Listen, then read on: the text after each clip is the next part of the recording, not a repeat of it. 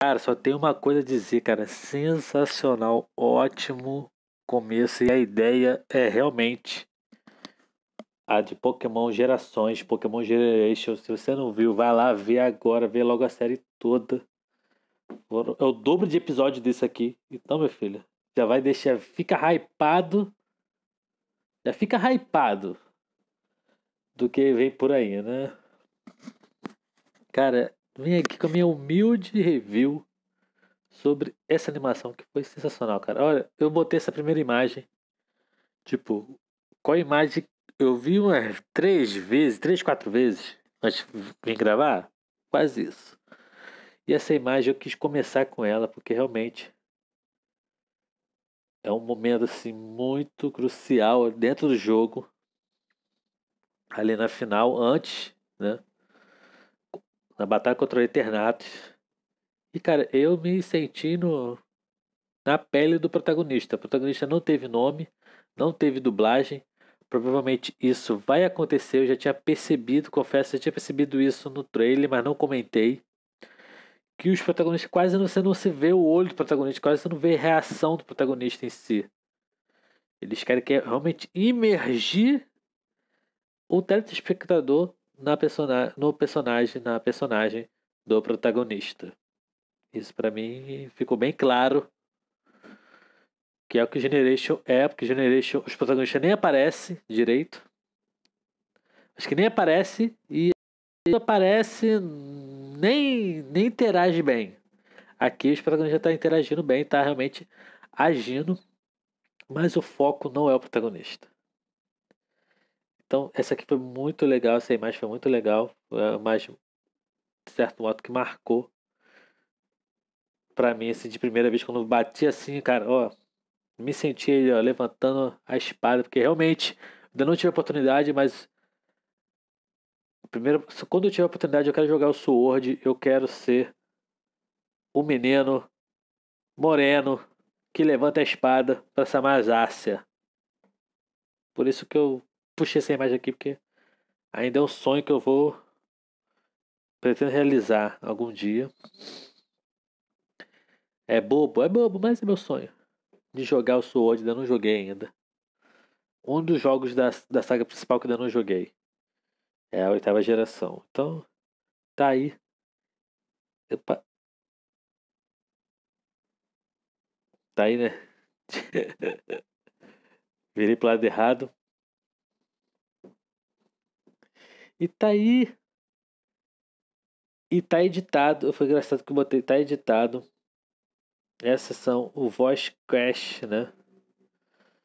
Da versão dublada. Eu, eu fiquei pensando quanto que ia ser a versão dublada. Acabei me adiantando um pouquinho, vendo a, a dublagem americana. Não é muito boa. Não vi tudo. Só para poder esperar a notificação. Esperei, agora eu sei a hora exata. Eu espero que permaneça assim, né?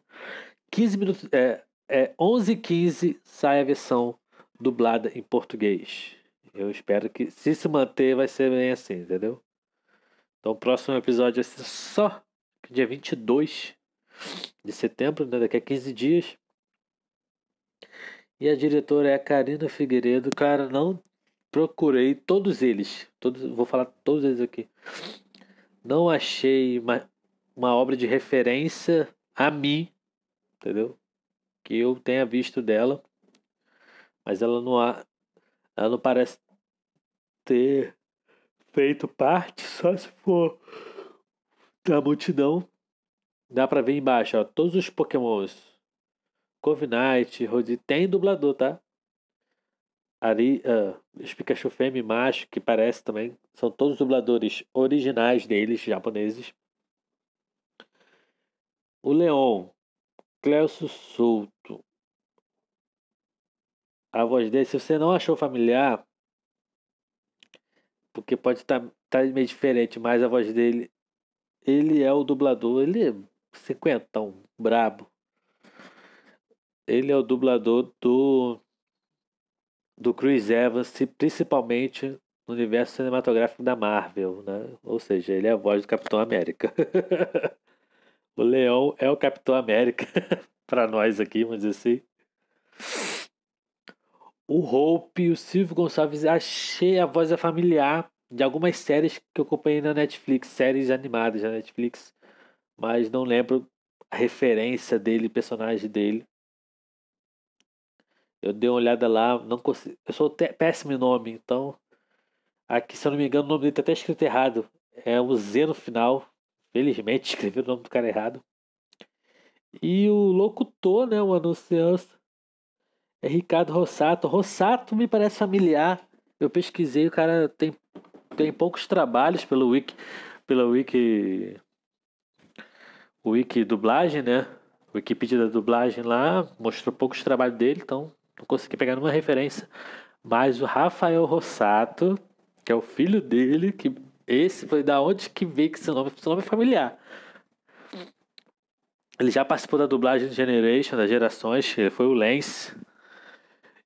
E, e ele é a voz do Chris Evans, né? Isso aí é o filho dele, infelizmente não é o, o pai, né? é o filho dele.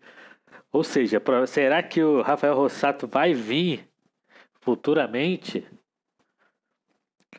Em alguns episódios de, de evoluções? Vamos ter que, vamos ter que esperar para ver, né? Eu sempre vou tentar fazer essa, essa pesquisa aí, uma coisa mais. É, é minha review humilde, né? Fazer uma coisa assim mais técnica. E vamos para as imagens, né? Cara, uma coisa que me chamou. Aí eu peguei as imagens que mais me chamou a atenção do episódio. E logo de começo, né? Eu vi todo o episódio novo e fui printando, né? Olha esses. Deve ser esses Pikachu que coisa, né? Olha esses Pikachu com o chapéu da Glória e do Vitor. Cara, olha, muito bom, cara, muito bom. Se eles, se eles não lançarem game, isso aí vão lançar, já deve ter lançado. Deve ter lançado já em, em pelúcia, provavelmente, cara. Eu tô até tão emocionado que eu tô até andando. Você ficar parado aqui, cara. Então, muito bom. Gostei demais. Eu não, não lembro se tem pelúcia isso aí, mas eu gostei dessa cena. Esse aqui é o Leon antes da batalha, cara. Que eu gostei, tipo assim, o foco do episódio é o que, o que passou pela mente do Leão, praticamente, né? O que, é, a gente tentar descobrir o que passou pela mente do Leão antes da batalha final do jogo, né? Que, que, que faz o protagonista ser o campeão de Galá, novo campeão de Galá. Cara, você vê ele, cara, tá praticamente derrotado ainda. Ele já entrou derrotado. Psicologicamente falando. Cara, foi muito, muito forte essa imagem. Achei muito coisa, né? O pessoal gastou pra caraca, né? Muito musculoso, mas é assim mesmo. O cara treinando, é essa questão, cara. Quando é que o jogo foca muito no protagonista novinho, treinando, coisa e tal, né? A gente não tem aquela coisa, né? O protagonista ganha tudo no protagonismo, verdade, vou ser sincero. Quando, quando o cara vai, evolui, cresce, trein, treinando, o cara fica forte. E olha, olha essa diferença, olha o tamanho do pequeno leão aqui. Por isso que é até complicado quando eu vejo Eternatus lá no jogo lá.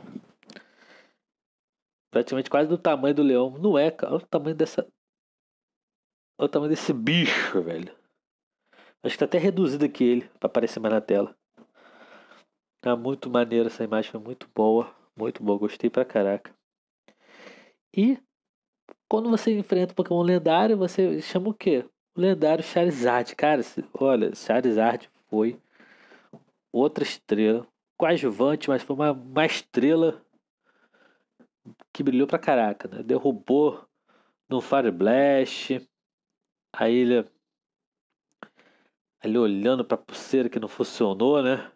Quando ele chamou o Charizard, ele, essa cena logo depois que ele olha, tenta fazer o Gigantamax e não funciona.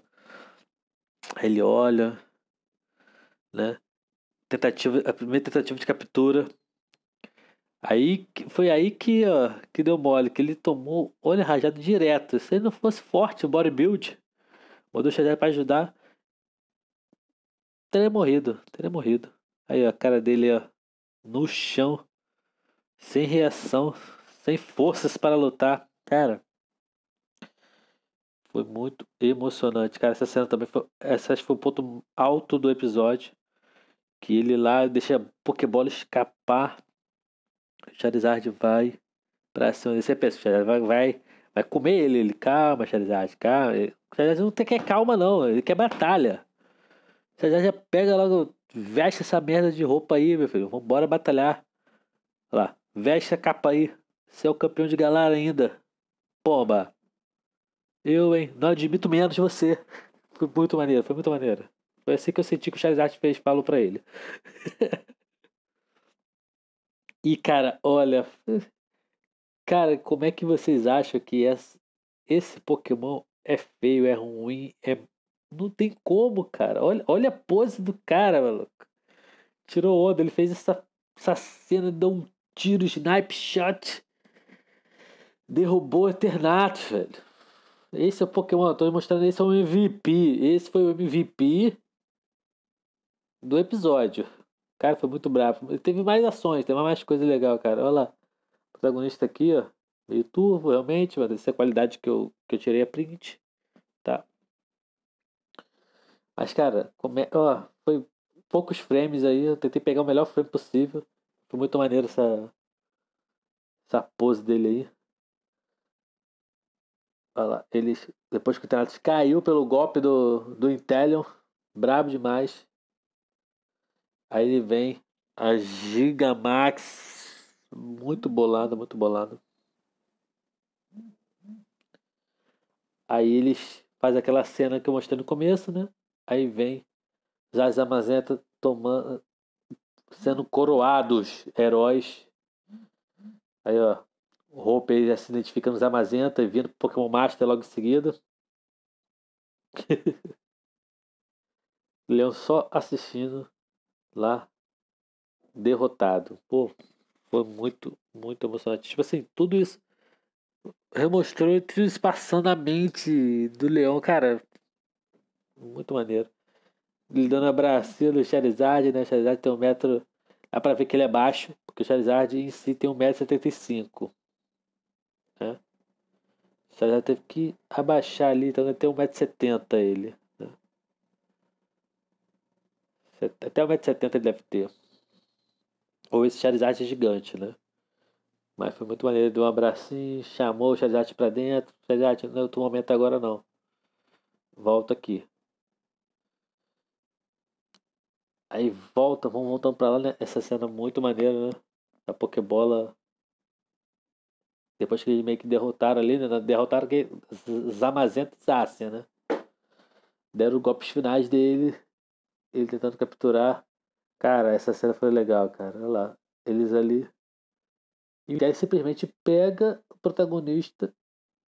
Voa. Ele voa. O Intélio voa até lá. Deixando o protagonista para ele pegar o Pokémon em si. Aí chega na, na cena da batalha final, os pokémons aí, ó. Os derrotados aí pelo, pelo protagonista. Olha isso aqui, pelúcia do Zard. Não, isso aqui não parece o Pokémon do Beat, tá? É o Pokémon do cara, que tá no colo do cara. O Morpico aqui fazendo sua aparição. Será que o Beat uma vez, alguma vez vai aparecer no Pokémon Master? Não sei. Mas da MAN assistindo o protagonista.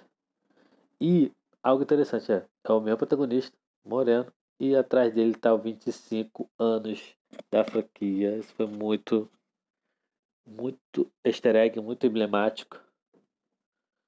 E né, a pose do campeão aqui, né? Qualidade meio coisa. E o estádio, cara. Um dia eu chego lá. Um dia eu chego lá. Só isso que eu penso quando vejo isso. E tá aí, essa é a logo do Pokémon Evoluções no fundo branco, muito maneiro, muito maneiro. E é isso, gente. O que eu posso falar desse episódio? Gostei pra caramba. Já estou empolgado para assistir os próximos. O crono... Toda vez que sair, vai ser... ainda bem que vai ser da minha folga, então vai ser muito bom. Eu vou conseguir fazer essa é, essa review né, a tempo. Então, próximo vai ser ainda esse mês, dia 22, se não me engano. Eu acho que o mês de novembro não vai ter nenhum episódio. Só vão. É. Vai ter setembro agora, outubro, novembro não vai ter. Aí vai ter quatro. Vai ter toda semana em dezembro. E vai acabar em dezembro, na última semana de dezembro. Se eu não me engano. Pelos meus cálculos, isso mesmo. Vai acabar na. Vai acabar no dia 23. Né? Vai acabar na quinta-feira, 23 de dezembro. E, então venha comigo, venha acompanhar. Vai ser demais, vai ser demais. Eu curti pra caramba. Eu tô esperando pro próximo mesmo. A verdade é essa. Deu muita hype. Acho que foi a mesma, parece que é a mesma produção de animação do, do Generation. Então, se você quer mais de Pokémon Evoluções, vai, procura Pokémon Gerações. Que foi uns anos atrás. Antigamente, acho que não sei se conta até a sétima geração, acho que até a sexta geração, acho que foi 2016. Então acho que foi até a sexta geração. Então, vai lá. Tem várias coisas que. É isso mesmo, sexta geração. Que você vai gostar de ver. Animação sensacional. Beleza? Valeu aí, até a próxima. Tchau. Forte abraço.